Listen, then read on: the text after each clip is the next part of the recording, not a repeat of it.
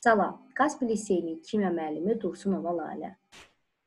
Doymuş bir atomlu spirtlərin kimyəvi xassələri onların molekulunda oksigen və hidrogen atomları arasında yaranan rabitənin polyarlığı ilə əlaqədardır. Bu spirtlər indikatorların rəngini dəyişmirlər.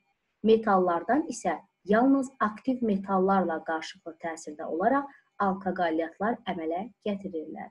Belə ki, spirtlərin metalla reaksiyası zamanı spirt molekulunda olan hidrogen atomu hid e, metalla əvəz olunur. Alkaqolyatlar bərk maddələrdirlər. Onlar suda məhlulda hidrolizə uğrayaraq spirtə və qələviyə çevrilirlər.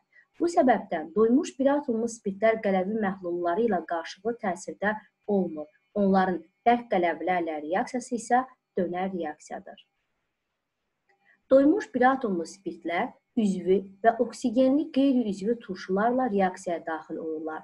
Bu zaman su molekulu ayrılır. Su molekulu ilə yanaşı mürəkkəb efirlər əmələ gəlir. Su molekulunun əmələ gəlməsi üçün turşu molekulundan hidroksil qrupu, spid molekulundan isə hidrogen atomu ayrılır. Bu reaksiya zamanı sulfat turşusu katalizator kimi iştirak edir. Doymuş bir atomlu spirtlər həmçinin hidrogen halogenitlərlə reaksiyaya daxil olurlar. Hidrogen halogenitlərlə reaksiya zamanı spirt molekulundan hidroksil qrupu, turşu molekulundan isə hidrogen atomu ayrılır. Nəticədə su və alkil halogenit əmələ gəlir. Doymuş bir atomlu spirtlər dehidratlaşma reaksiyasına daxil olurlar. Dehidratlaşma reaksiyasının məhsulu reaksiyanın temperaturundan asılıdır. Birinci varianta baxaq.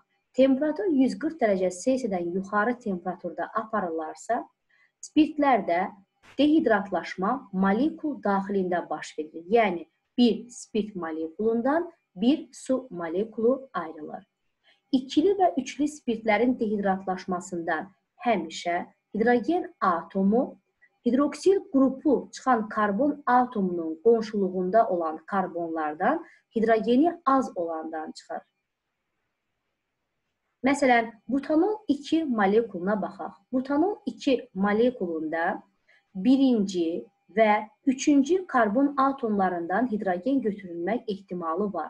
Ancaq üçüncü karbon atomunda hidrogen atomunun sayı daha az olduğu üçün hidrogen atomu məhz həmin karbondan ayrılacaq və nəticədə ikinci, yəni OH qrupu qoparılan, üçüncü, yəni hidrogen atomu qoparılan karbon atomları arasında iki qat rabitə əmələ gələcək. Digər nümunəyə nümunəni özünüz izah edə bilərsiniz. Əgər temperatur 140-dan aşağı temperaturda aparılarsa, bu zaman spirtlərdə dehidratlaşma molekul arasında baş verəcək. Yəni 2 spirt molekulundan 1 su molekulu ayrılacaq. Göründüyü kimi 2 etil spirtindən bir su molekulu ayrılmış və nəticədə su molekulu ayrılmış hissələr birləşmiş və alınan maddələr sadə efirlər adlanır. Etil spirtinin xüsusi xassəsindən biri də onun 425 dərəcə Selsi temperaturda sink oksid və alüminium oksidlərin katalizatorluğu şəraitində eyni zamanda dehidratlaşması və dehidrogenləşməsi reaksiyasından divinin alınmasıdır. Bu reaksiya Lebedev reaksiyası kimi tanınır. Bu reaksiya ilə biz alkadellərin alınması mövzusunda tanış olmuşuq.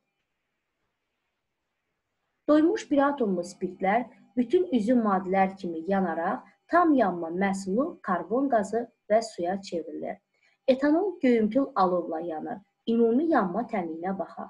Cn H2n plus 1 OH üstə gələk 3n bölünsün 2 O2 alınır. N CO2 plus N plus 1 H2O. Doymuş bir atomlu spirtlər mis-2 oksidin iştirakı ilə oksidləşmə reaksiyasına daxil olurlar. Belə ki, bu reaksiya zamanı spirtlər oksidləşir və mis-2 oksid isə reduksiya olunur. Birli spirtlərin oksidləşməsindən uyğun olaraq aldehidlər əmələ gəlir. İkili spirtlərin oksidləşməsindən isə ketonlar alınır. Üçlü spirtlər mis-2 oksidin iştirakı ilə oksidləşə bilmirlər. Yadda saxlayırıq, doymuş bir atomlu spirtlər qələvlərlə və mis-2 hidroksidlə reaksiyaya daxil olmurlar. Etil spirtinin xüsusi xassələrindən biri də bakteriyaların iştirakı ilə sirkə tursuna qədər oksidləşməsidir. Doymuş bir atomlu spirtlərin tətbiqinə baxaq. Mühüm tətbiq sahəsinə malik olan spirtlər metil spirti və etil spirtidir. Metil spirti həll edici kimi müxtəlif üzvi sintezlərdə, məsələn, formaldehidin, boya və dərman maddələrinin alınmasında istifadə olunur. Etil spirti, sintetik kauçukun alınması, anatomik preparatların konservləşdirilməsi, digər üzüm maddələrin, məsələn, dietil efiri, sirkə turşusu, boya maddələrinin alınması, tüstüsüz baratın istehsalında istifadə olunur və nəhayət benzinə əlavə kimi istifadə oluna bilir.